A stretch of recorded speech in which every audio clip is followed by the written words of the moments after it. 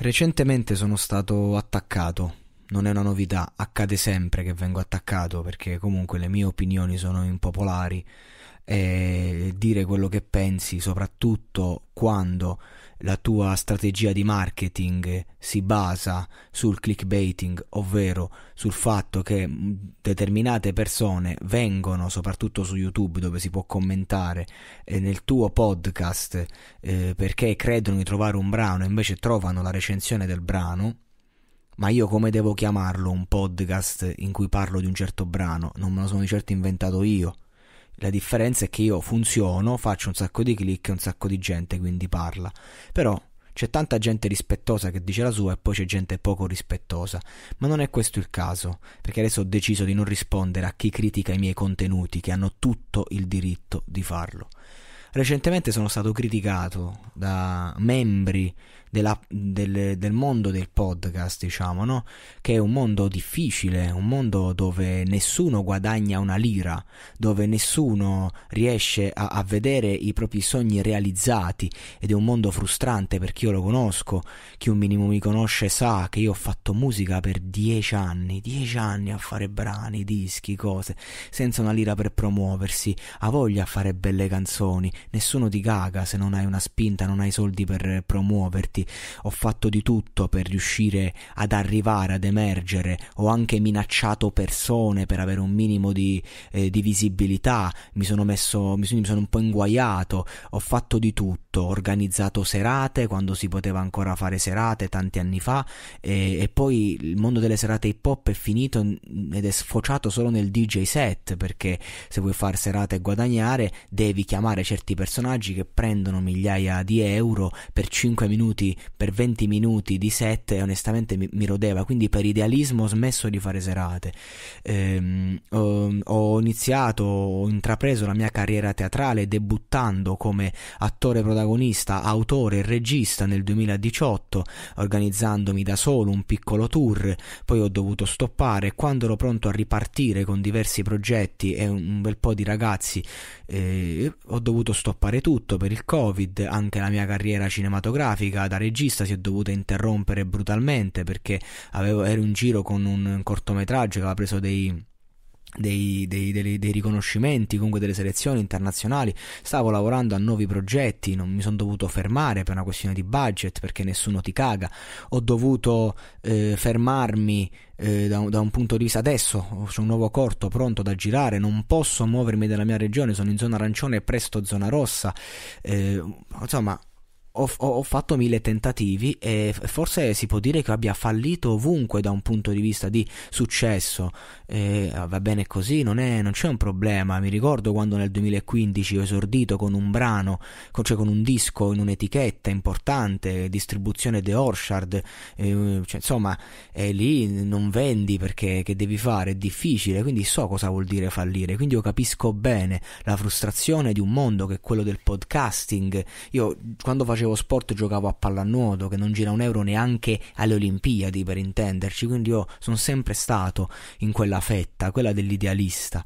Bene, sono stato attaccato eh, senza motivo perché io non stavo parlando di me, ho fatto una domanda in un gruppo riguardo una cosa che non conoscevo con umiltà e subito ogni volta che intervengo qualcuno mi attacca perché invidiosi ovviamente del fatto che sono l'unico podcaster che non ha eh, contatti grandi, che non ha community, chi c'è in top 10, chi c'è? Fedez, insomma forse è l'unico podcaster puro sangue che guadagna da questa roba è Rick Dufer, però a fatti concreti eh, anche un Montemagno, lui ha una, comuni- una community video e poi sposta in podcast, quindi comunque guadagna ma comunque eh, viene dal web, eh, la zanzara viene dalla radio, Fedez ha di dichiarato che col podcast è più una rimessa che altro, lo fa per un... Ecco, sono l'unico podcaster indipendente che in, cameretta con un microfono effettivamente porta a casa uno stipendio, nulla più, nulla meno che quello che mi basta per vivere, per mettere due soldini da parte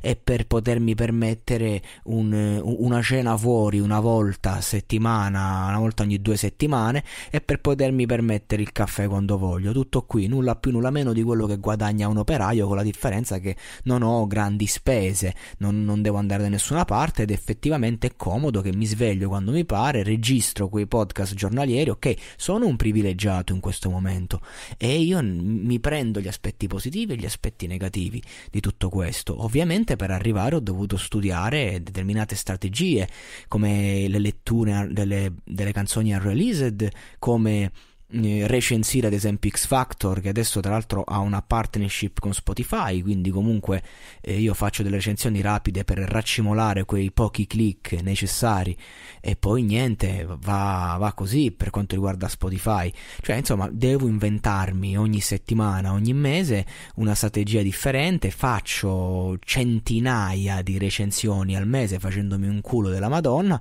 e ogni giorno non ho nessuna certezza e sono stato attaccato da un qualcuno che non è che mi interessa tanto chi fosse questo qualcuno che non so chi sia, ma mi ha fatto riflettere il fatto che lui mi ha detto cose che un anno fa avrei detto io quando ero nella sua posizione. Quindi ho rivisto me stesso attaccarmi praticamente, quindi non è questa persona mi, mi interessi o non so neanche chi sia.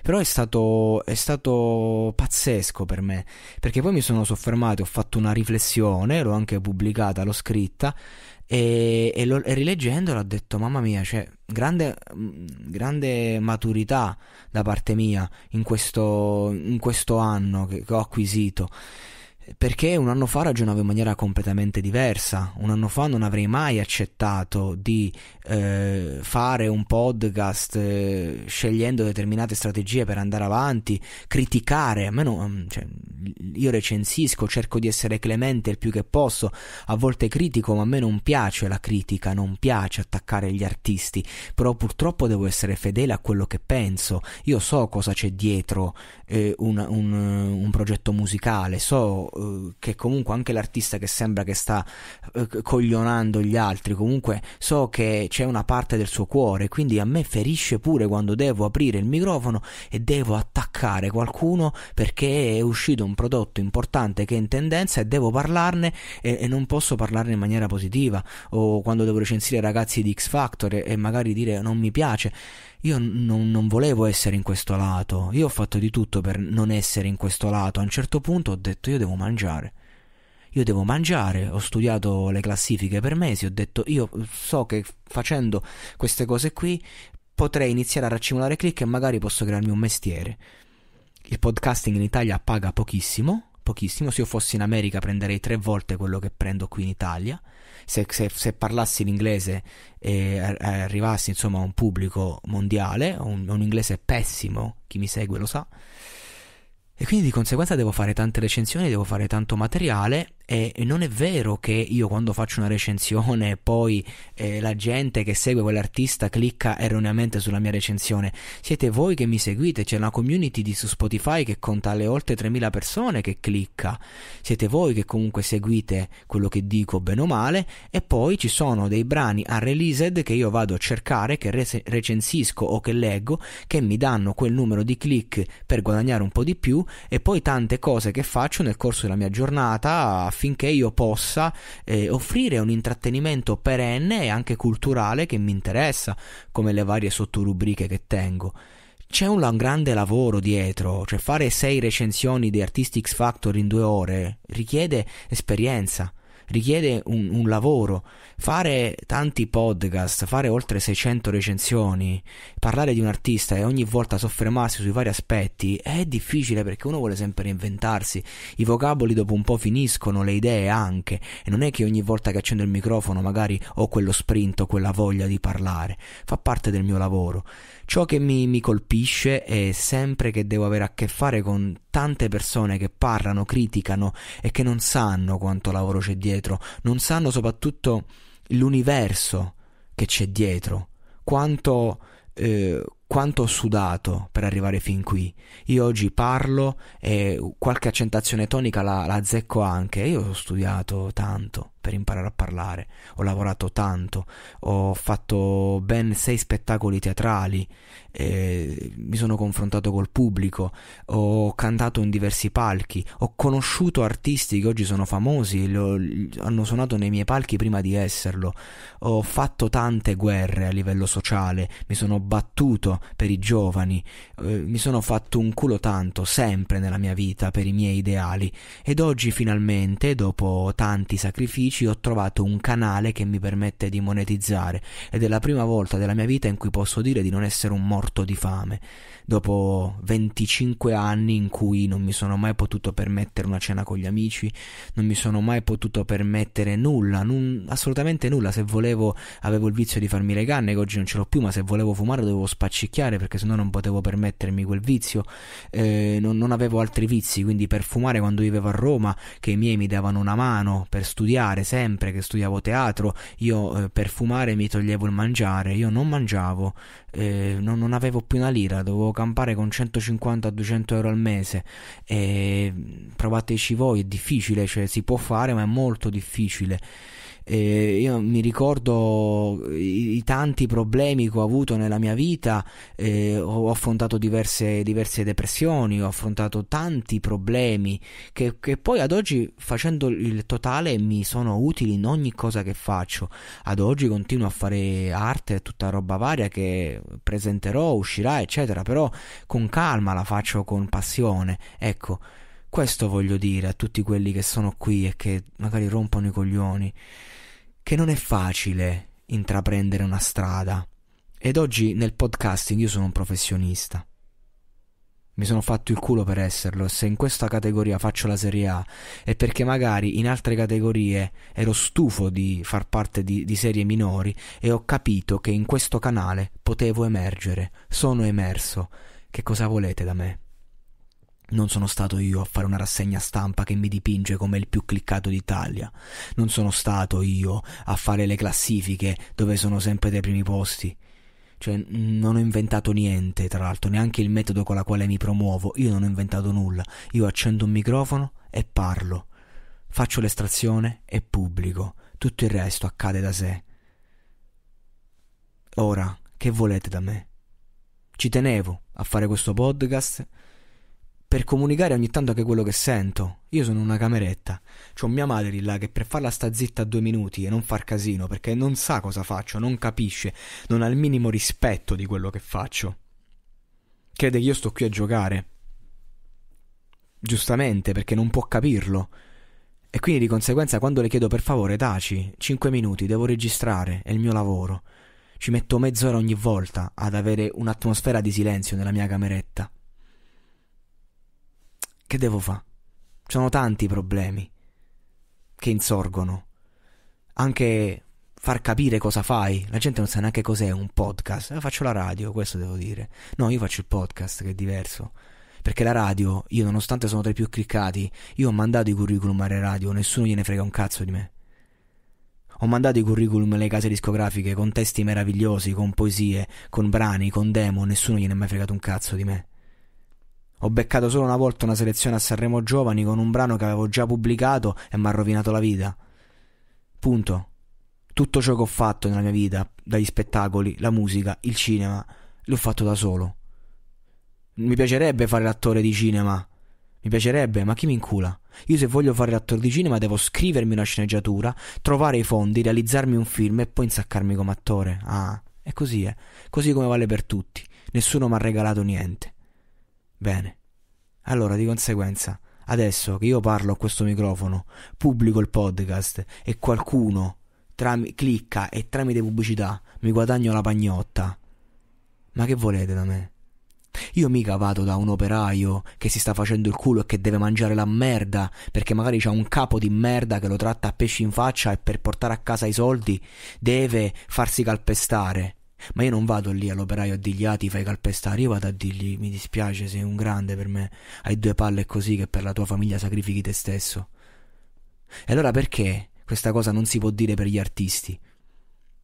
Sono tanti progetti che ho in canna, irrealizzabili in questo periodo storico di Covid, irrealizzabili.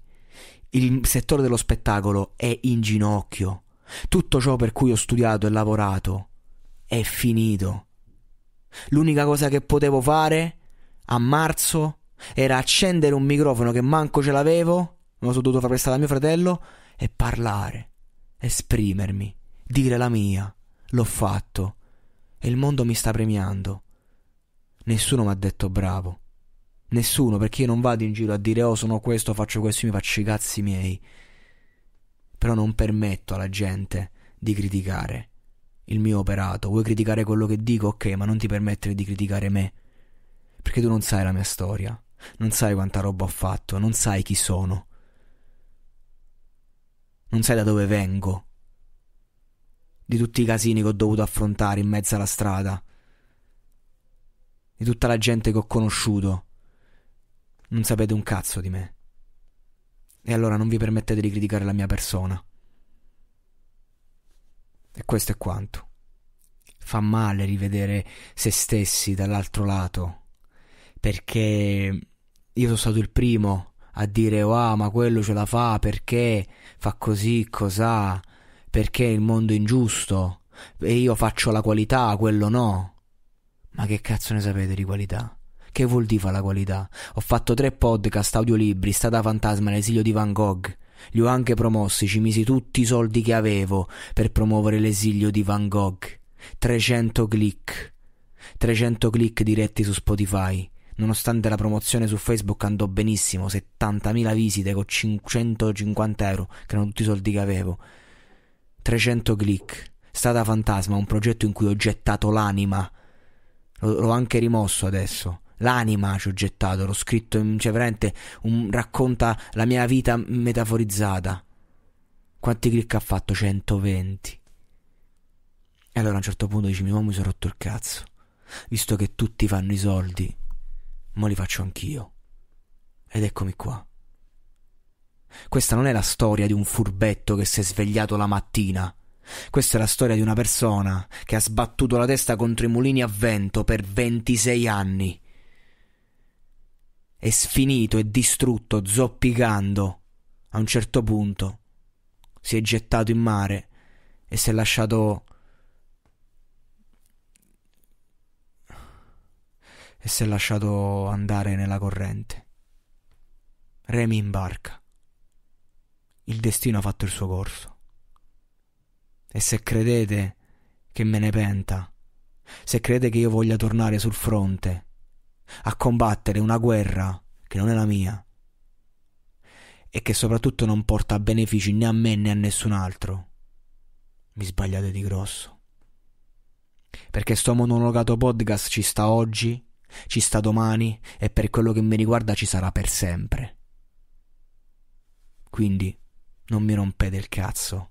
Se volete che mi sto zitto, dovete pagarmi profumatamente e dovete offrirmi un altro canale media. Allora a quel punto ne possiamo parlare. Mettetemi un contratto? Allora io a quel punto parlerò. Smettendo di parlare qui, ma parlerò altrove. Ma fino a che questa cosa non accade, io è così che continuerò a guadagnarmi da vivere. Quindi a tutti quelli che seguono il monologato podcast non vi preoccupate perché sta merda non finisce né mo né mai. E a tutti quelli che si stanno iniziando ad affezionare a me non vi abbandonerò. Questo è poco ma è sicuro, perché questo microfono, questa parola è tutto quello che ho. Non ho nient'altro. Io non faccio video, io non metto foto su Instagram, io non faccio un cazzo, io accendo un microfono e parlo e ringrazio Dio tutti i giorni per questa possibilità che mi ha dato.